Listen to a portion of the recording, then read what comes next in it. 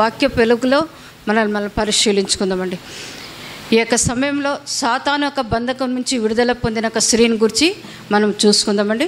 లూక రాసిన సువార్త పద్ పదమూడో అధ్యాయము పది నుంచి పదమూడు వచ్చినాలండి లూక రాసిన సువార్త పదమూడో అధ్యాయము పది నుంచి పదమూడు వచ్చినాలు విశ్రాంతి దినమున ఆయన ఒక సమాజ మందిరంలో బోధించుచున్నప్పుడు పద్దెనిమిది ఏండ్ల నుండి బలహీనపరచు దయ్యము పట్టిన ఒక స్త్రీ అచ్చట ఉండెను.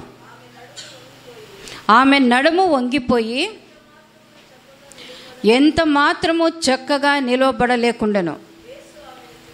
యేసు ఆమెను చూచి రమ్మని పిలిచి అమ్మా నీ బలహీనత నుండి విడుదల పొంది ఉన్నామని ఆమెతో చెప్పి ఆమె మీద చేతులు ఉంచగానే ఆమె చక్కగా నిలబడి దేవుని మహిమపరిచింది. దేవుని నామ స్తోత్రం కలంగాక ఇక్కడ మనం చూస్తున్నాం ఒక స్త్రీ. పద్దెనిమిది ఏండ్ల నుండి బలహీనపరచు దయ్యము పట్టిన ఒక స్త్రీ అచ్చట ఉండని ఎక్కడున్నది? సమాజ మందిరంలో. ఈ విధంగా ఎక్కడ దేవుని యొక్క బిడ్డలు కలుసుకొని ఉంటారో అక్కడ ఒక స్త్రీని మనం చూస్తున్నాం. పద్దెనిమిది సంవత్సరాల నుంచి దేవుని యొక్క మందిరానికి వస్తూ ఉంది. కానీ ఆమె యొక్క పరిస్థితి ఏ విధంగా ఉందండి? బలహీనపరచు దయ్యము ఆమెని పట్టి పట్టి ఉండటం వలన ఆమె చక్కగా నిలవబడలేని యొక్క స్థితిలో ఉంది. చక్కగా నిలవబడలేనప్పుడు మనం చక్కగా దేవుని స్తుతించలేము. మనం ఇక్కడ చూస్తున్నాం బలహీనపరచు దయ్యం అంట ఇది బలహీన ఒక సామాన్యమైన రోగం కాదు. అయ్యో నడుము వంగిపోయిందనేకి సామాన్యమైన రోగము కాదు. లోకంలో వచ్చినట్లుగా రోగం కాదు. సాతానుడు ఏం చేసిందామని సాతాన్ ఆమెని వంగి తీసినాడు. పైన చూడుకోకుండా చక్కగా నిలబడుకోకుండా ఆమెని నడుమును వంచేసినాడు కాబట్టి నడుము వంగిపోతే ఎట్లుంటుందండి? మనము చక్కగా నిలబడలేకపోతాము. అంతేకాక మనము దేవుని చక్కగా చూచి దేవుని యొక్క సన్నిధానానికి వస్తుంది కానీ చక్కగా దేవుని స్థుతించలేకపోతూ ఉంది ఎందుకు దేవుని స్థుతించలేకపోతుందంటే బలహీనత. ఈ లోకం అనే ఒక బలహీనత ఆమెను ఏం చేసింది? వంచి వేసింది. అవును మనం ఎప్పుడు వంగిపోతామో మనము దేవుని ముఖాముఖిగా చూడలేం. ఎప్పుడు వంగిపోతే లోకము ఓ- లోకం వైపు మనము చూస్తుంటాం. లోకంలో ఏం జరుగుతుంది? లోకం అంటే శరీరాశ నేత్రాశ జీవపు డంబము. ఎప్పుడు ఏమి తిందుమా ఏమి త్రాగుదుమా ఏమి ధరించుకుందుమా ఎక్కడికి పోలా ఏం చేయాలా ఏం సంపాయాలా ఇంకా ఎంత సంపాయాలా ఇంకా ఎంత డబ్బులు కూర్చోబెట్టాలా ఎప్పుడు లోకము లోకము లోకమని సాతానుడు ఏం చేసింది? ఆమెను వంచి వేసింది. సమాజ మందిరానికి వస్తుందే కానీ దేవుని స్థు స్థుతించలేని యొక్క స్థితిలో మనం చూస్తున్నాం. అంతేగాక మనం చూస్తున్నాం చక్కగా నిలబడలేని యొక్క స్థితిలో ఉంది. అవును దేవుడు మనకి దేవుని యొక్క సన్నిధానానికి వచ్చి కూడా మనము దేవుని స్థుతించలేకుంటే నిజముగా ఎంతో దౌర్భాగ్యలో. మనం చక్కగా నిలబడినప్పుడే దేవుడు మనతో మాట్లాడుతుంట. అందుకే ఎస్కేలు గ్రంథము రెండో అధ్యాయంలో చూస్తే ఎస్కేలకి ఏమని చెప్తాడండి? ఎస్కేలు నువ్వు చక్కగా నిలబడు నేను నీతో మాట్లాడాలని ఉన్నానంటాడు. అవును దేవుడు మనతో ఎప్పుడు మాట్లాడుతా అంటే మనం చక్కగా నిలబడినప్పుడే మనం మాట్లాడుతున్నాం. చక్కగా నిలబడి దేవుని సన్నిధానం ఉన్నప్పుడు దేవుడు మనతో ముఖాముఖిగా మాట్లాడతాడు. మనం కూడా దేవుని ముఖాముఖిగా దేవుని స్థుతించగలుగుతాం. కానీ యొక్క స్త్రీని మనం చూస్తున్నాం. పద్దెనిమిది సంవత్సరాల నుంచి వంగిపోయిన యొక్క స్థితి. దేవుని సన్నిధానానికి వస్తుందే కానీ లోకము దేవుని సన్నిధానానికి వచ్చి కూర్చున్నప్పుడు కూడా ఇంకా మనసు ఎక్కడుంది? ఇంకా బయటనే తిరుగుతూ ఉంది. ఎప్పుడు పోవాలా ఏం చేయాలా ఏం తినాలని ఎప్పుడు లోకం లోకం లోకంలోనే లోకంలోనే జీవిస్తున్నప్పుడు దేవుడు ఆ బిడ యొక్క స్థితిని చూసినాడు. నువ్వు ఇంకా ఎంతవరకు నువ్వు వంగి ఉంటావమ్మా? నువ్వు చక్కగా నిలబడాలా? చక్కగా నిలబడాలంటే ఏం చేయాలండి? నడుముకు అందుకే ఇదే లూక రాసిన సువార్త పన్నెండో అధ్యాయం చూడండి. లూక రాసిన సువార్త పన్నెండో అధ్యాయము ముప్పై ఐదో వచనంలో. మీ నడుము కట్టుకునుడి. మనం చక్కగా నిలబడాలంటే ఏం చేయాలి? మన నడుముని గట్టిగా కట్టుకోవాలా? సరిగా మనం నడుము కట్టుకోకుండా మనం చక్కగా నిలబడలేకపోతాం కాబట్టి అందుకంటాడు మీ నడుమును కట్టుకొని మీ దీపంలో వెలుగుచుండనీడి మన నడుము ఎప్పుడు భద్రంగా కట్టుకొని ఉండాలంట. భద్రంగా మనం నడుము కట్టుకున్నప్పుడే మనం ఏ పనైనా మనము చేయగలుగుతాం. మనం నడుము సరిగా కట్టుకోలేదంటే మనము సరిగా పరిగెత్తుకోలేము పరిగెత్తి వెళ్ళలేము ఏమైనా కార్యము చేయాలనుకున్నప్పుడు మనము చేయలేము. అందుకే మనం ఎఫ్ఎస్సీలకు రాసిన పత్రిక ఆరోగ్యంలో ఏమంటాడు అక్కడ మీ నడుముకు సత్యమైన దట్టిని కట్టుకోమంటాడు. అవును మన నడుము కంటే బెల్ట్ కట్టుకోలే ఈ లోకానుసారంగా. కానీ అన్నిటికంటే ముఖ్యంగా మనం ఆత్మికంగా ఏం కట్టుకోవాలి? మన నడుముకి సత్యమైన దట్టిని కట్టుకోవాలా? మన ఎందుకంటే మన దేవుడు సత్యవంతుడు. ఆయనలో ఎక్కడ కూడా అసత్యత అనేది లేదు. కాబట్టి సత్యవంతుడైన దేవుని మనం ముఖాముఖిగా చూడాలంటే మనం ఏం చేయాలా? మన నడుముకు సత్యమైన దట్టిని కట్టుకోవాలి. అందుకంటాడు నువ్వు చక్కగా నిలబడితే నేను నీతో మాట్లాడతాను. నువ్వు చక్కగా నిలబడితే నేను నీతో ముట్ట ముచ్చటిస్తాను అంటాడు కాబట్టి దేవుడు మనతో ఎల్లప్పుడూ మాట్లాడాలని చెప్పిన ఆశపడుతుంటాడు. ఆయన కూడా హృదయ యొక్క హృదయంలో ఉండే మాటలు మనతో పంచుకోవాలని చెప్పి చూస్తాడు కాబట్టి మనం హృదయ దేవునితో మనం మాట్లాడాలంటే మనము చక్కగా నిలబడాలా. ఆ సత్యం అనే దట్టిని మనము కట్టుకున్నప్పుడే దేవునితో మనం మాట్లాడతాం కాబట్టి మనం చక్కగా నిలబడాలా. మనం ఇంక అంతేగాక అనే దట్టిని కట్టుకునేది అంతేగాక ఇంకా మనం మొదటి పేతులు చూడండి ఒకటో అధ్యాయము పదమూడో వచ్చంలో అక్కడ ఏం కట్టుకోమంటారు చూడండి. మొదటి పేతురు ఒకటో అధ్యాయము పదమూడో వచ్చంలో మీ మనస్సును నడుముని కట్టుకోవాలంట. ఏం కట్టుకోవాలంటే అక్కడ నడుముకి సత్యమును దట్టిని కట్టుకోమన్నాడు. ఇక్కడ ఏమంటాడు మీ మనస్సును నడుముని కట్టుకోవాలంట. అవును మనం మనస్సును కట్టుకోకుంటే మన మనస్సు ఏమవుతుందండి కూర్చుందే కీడే కూర్చుని ఉంటాం కానీ మన మనసు ఇటు అటు పోతుంటుంది. మన మనసు ఇటు అటు పోయినప్పుడు ఏమవుతుంది దేవుని యొక్క మాటలు మనం చక్కగా వినలేకపోతాం. మనం అందుకే అపోస్తుల కాలంలో ఇరవై అధ్యాయంలో మనం చూసినట్లయితే అక్కడ ఒక యవనస్తుని మనం చూస్తాం. ఆ యొక్క యవనస్తుని యొక్క పరిస్థితి ఎట్లుందండి? దేవుని మందిరానికి వచ్చినాడు. కానీ వచ్చిన ఒక యవనస్తుడు ఎక్కడ కూర్చున్నాడు? కిటికీలో కూర్చున్నాడు. కిటికీలో కూర్చొని ఒక కాలు ఆ సైడ్ వేసినాడు ఒక కాళ్ళు ఈ సైడ్కి వేసినాడు. ఇక్కడ వాక్యం చెప్తప్పుడు అపోసులు పోలు వాక్యం చెప్తప్పుడు ఈ సైడ్ చూస్తాడు. బోర్ అయినప్పుడు ఏం చేస్తాడు? ఆ సైడ్ లోకం వైపు లోకంలో ఎవరు వెళ్తున్నారో ఎవరు పిల్లలు వెళ్తున్నారో అందరినీ చూసుకుంటూ లోకం వైపు చూస్తున్నాడు కాబట్టి కొంతసేపు అటు కొంతసేపు ఇటు చూస్తూ చూస్తూ చూస్తూ ఏమైపోయినాడండి? తూగిపోయి నిద్ర వచ్చి తూగి ఏమైపోయినాడు? మూడో అంతస్తు నుంచి కింద పడిపోయినంట కింద పడి ఏమైపోయినాడు? చనిపోయినాడు. దేవుని మందిరానికి వచ్చినాడే కానీ రెండు తలంపులో ఉన్నాడనమాట. కొంతసేపు అటు చూస్తాడు ఇటు చూస్తాడు. కాబట్టి అందుకంటాడు మీ మనస్సును నడుముని కట్టుకోవాలంట. అవును ఎప్పుడైతే మనస్సును న- నడుమును మనం కట్టుకుంటామో మనకు మనస్సును మనకు ఆధీనంలో మనం ఉంచుకున్నప్పుడే మనం గొప్ప కార్యాలు మనం చేయగలుగుతాం. అందుకే అందుకే అంటాడు దేవుడు మీరు కట్టుకొని చక్కగా నిలబడు అంటాడు. ఎస్కేలు నువ్వు కట్టుకో నువ్వు చక్కగా నిలబడు.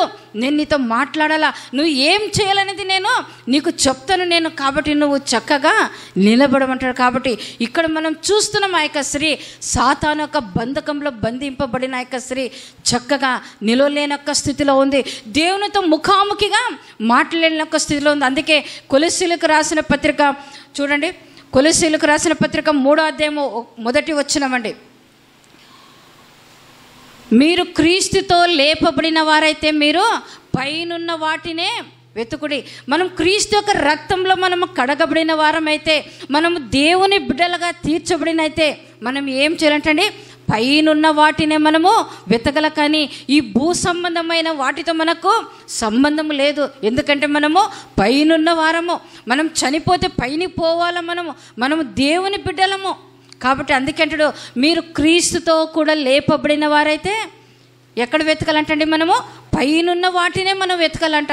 పైనున్న వాటిని ఎప్పుడు దేవుని యొక్క ఆత్మతో నింపబడినట్లయితేనే మనం పైనున్న వాటిని మనం వెతుకుతాం వెతకగలం. కానీ మనం ఎప్పుడు లోకము శరీరం అనుకుంటా కూర్చుంటే ఎప్పుడు కింద ఎప్పుడు శరీర ఆశలు ఎప్పుడు ఒక ఆశ పోతే మనిషికి ఆశకు లిమిట్ లేదంట. ఒకటి పోతే దేవుడు ఎన్నని ఇవ్వండి ఒకటి ఇస్తే ఇంకా ఒకటి ఇచ్చింటే బాగుంటుండే. ఇంకొకటి ఇచ్చింటే బాగుంటుండే. మనిషి యొక్క ఒక ఆశలకి మితి లేదని చెప్పి మనం చూస్తాం కాబట్టి మనం ఈ లోకం వైపు చూస్తుంటే ఎప్పుడు ఈ లోకము లోకము లోకం అనుకుంటా ఎన్ని ఇచ్చినా కూడా తృప్తి లేని జీవితం మనం జీవిస్తాం కాబట్టి ఎప్పుడు ఈ లోకంలో పడిపోతామో దేవునికి దూరంగా మనం జీవిస్తాం కాబట్టి దేవునికి మనం దూరంగా ఉండేది ఇష్టం లేదు. ఎందుకంటే ఆయన మనల్ని ఎంతగానో ప్రేమించిన గొప్ప దేవుడు నాతో కలిసి నా బిడ్డలు జీవించాలా?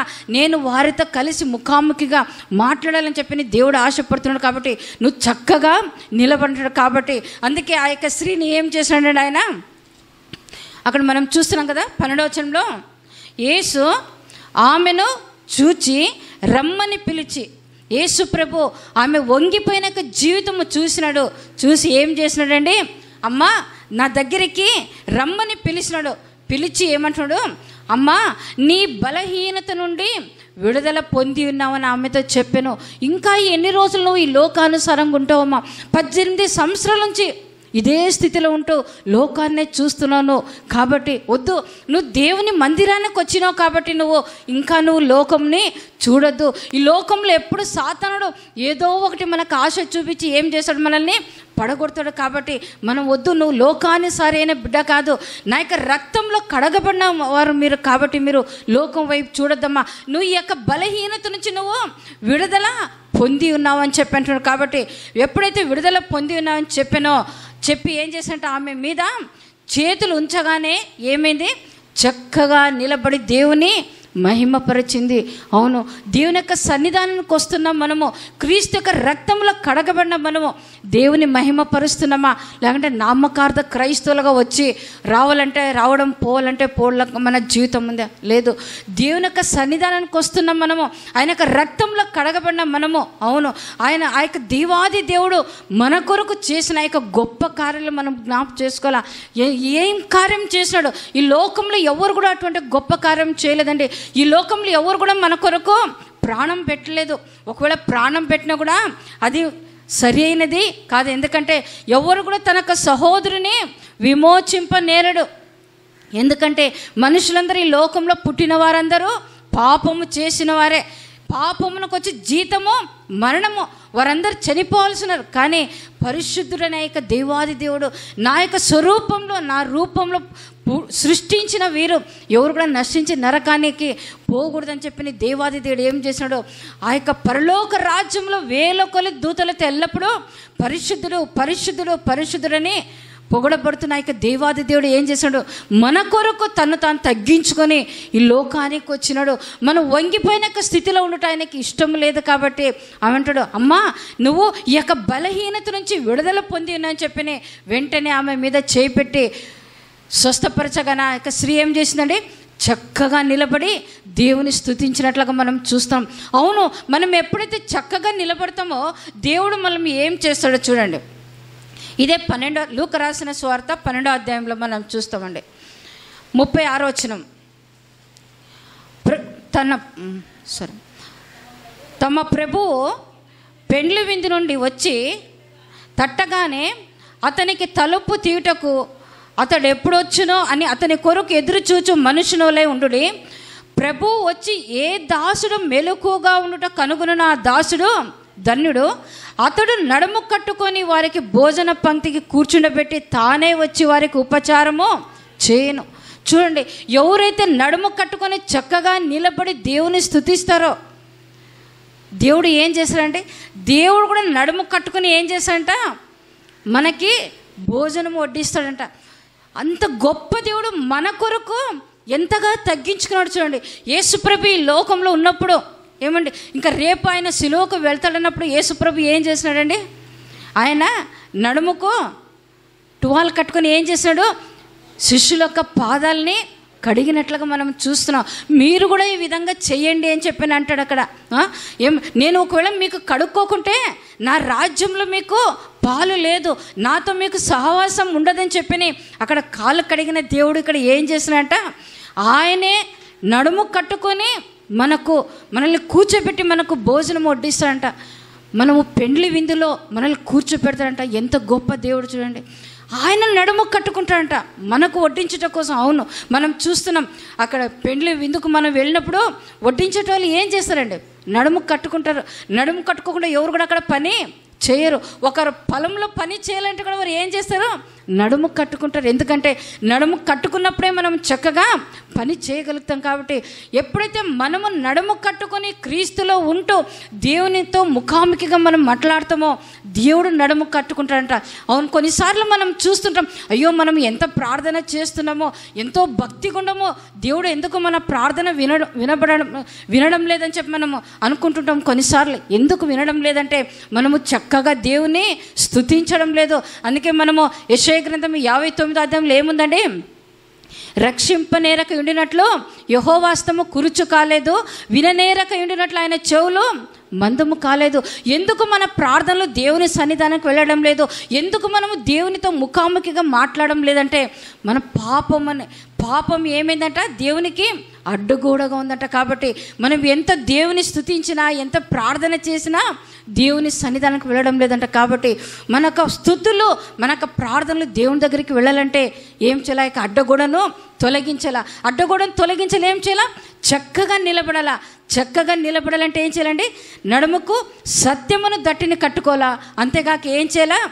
మీ మనస్సును నడుమును కట్టుకోమంటున్నాడు కాబట్టి ఎప్పుడైతే మనకు మనస్సును నడుము కట్టుకొని సత్యమైన దట్టిని మనం కట్టుకుంటామో యేసు ప్రభు తానే వచ్చి నడుము కట్టుకొని మనకు ఆ యొక్క పెండ్లి విందులో మనకు భోజనము వడ్డిస్తారంట కాబట్టి ఆయనతో కలిసి మనం భోజనం చేయాలని చెప్పి దేవుడు ఆశపడుతున్నాడు కాబట్టి అవును యేసు ప్రభు ఆనాడు ఆయన కల్వరిశిలోకి వెళ్ళ దానికంటే ముందు ఆయన ఒక రొట్టెని పట్టుకుని ఏమన్నాడు? ఇది నా శరీరము. మీ కొరకు విరవపడుతున్న యొక్క శరీరం అంటాడు. అంతేగాక ఆ యొక్క ద్రాక్షరసం రసం తీసుకునేది నా యొక్క రక్తం అంటాడు. కాబట్టి ఈ యొక్క శరీరము తినే యొక్క రక్తము త్రాగువాడే నిత్య జీవము గలవంటాడు కాబట్టి ఆ యొక్క నిత్య జీవానికి మనం వారసులు కావాలంటే ఆయన యొక్క శరీరంలో ఆయన యొక్క రక్తంలో మనము పాలు పొందాల? ఎప్పుడు మనం పాలు పొందామంటే సాతాన్ యొక్క బంధకం నుంచి విడుదల పొందినప్పుడే. అందుకే ఇక్కడ ఒక మాట అంటాడు చూడండి యేసుప్రభు అదే లూక రాసిన స్వార్థ పదమూడో అధ్యాయము పదార వచ్చినం ఇదిగో పద్దెనిమిది ఏండ్ల నుండి సాతాను బంధించిన అబ్రాహము కుమార్తె అయిన ఈమెయు విశ్రాంతి దినముంది ఈ కట్ల నుంచి విడిపింపబడినది కదా. ఈమె ఎవరంటండి? అబ్రహాము కుమార్తె అంట. ఇంకొకరిని ఎవరన్నారండి? అబ్రహాము కుమారుడు. ఇతడును అబ్రహాము కుమారుడు ఎవరు?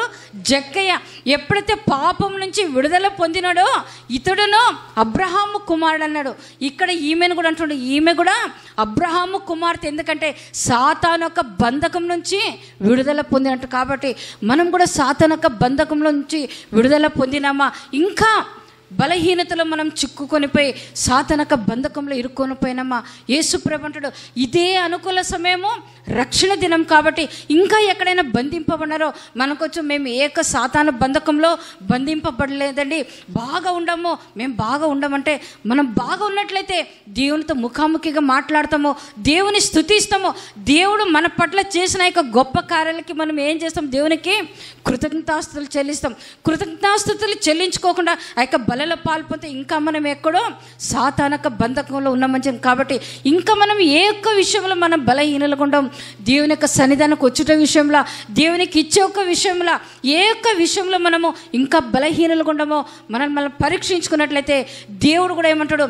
ఈమె కూడా అబ్రహాము కుమార్తె సాతానక బంధకం నుంచి విడుదల పొందిందని చెప్పు కాబట్టి ఆనాడు ఆమెతో చెప్పిన దేవుడు ఈనాడు కూడా మనతో కూడా ఆయన చెప్పాలని ఆశపడుతున్నాడు కాబట్టి మనం కూడా మన యొక్క జీవితం పరీక్షించుకొని ఏ ఒక్క విషయంలో మనం బలహీనలుగా ఉండం మనకు నడుముకు సత్యమైన దట్టి ఉందా మనకు మనసును మనం కట్టుకున్నామా లేదని చెప్పని మనల్ని మనం పరీక్షించుకొని మనము ముందుకు సాగి దేవుని యొక్క ఆశీర్వాదాలు పొందుకోవాలని చెప్పి దేవుడు హెచ్చరిస్తున్నాడు కాబట్టి ఇటువంటి కృపను మనం పొందుకొని ముందుకు సాగుదామండి. దేవుడు ఒక వాక్యం ఆశ్రయించి దీవించనుగా